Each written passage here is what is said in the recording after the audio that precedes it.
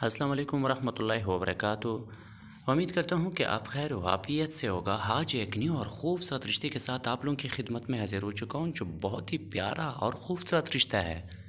इसी वीडियो में उनकी कॉन्टेक्ट नंबर उनकी सारी डिटेल्स स्टिप बाई स्टिप आप लोगों को आगाह करता हूँ।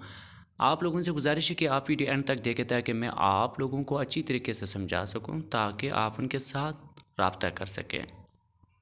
उससे पहले तमाम बहन भाइयों से गुजारिश है, जो हमारे चैनल्स पर न्यू है तो हमारे चैनल को सब्सक्राइब करें और साथ में घंटी के निशान पर फ्रेस करें, ताकि हमारी हर आने वाली वीडियो आपको बासानी और बर वक्त, और सबसे पहले मिल सके, ताकि आप उनके साथ जल्द से जल्द रब्ता कर सके।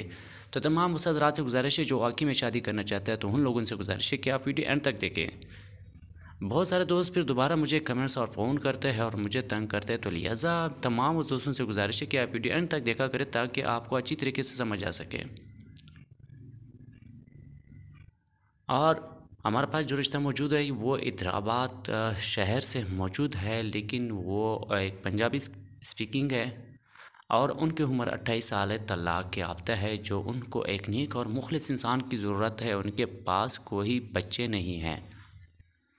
सबक हस्बैंड के साथ उन्होंने एक साल गुजारे, एक साल के बाद उनके दरमियान कोई ऐसा मामला ख़राब हुआ जिन्हें एक दूसरे की तलाक के लिए मजबूर कर दिया गया। जब वो हो चुकी है, लेकिन इस खातन ने हमारे साथ रबता कीजिए, किया था और इनको चाहे एक नेक और मुखलस इंसान, चाहे अगर इनका कहना है कि अंदरूनी सिंह के अंदर सबसे पहले रिश्ता मिले तो मेरे लिए बहुत ही बेस्ट और बहुत ही अच्छा है। अगर यहाँ पर नहीं है, फिर तो बड़े शहर से भी रबता कर सकते कहीं से भी हो बार ममालिक से भी हो।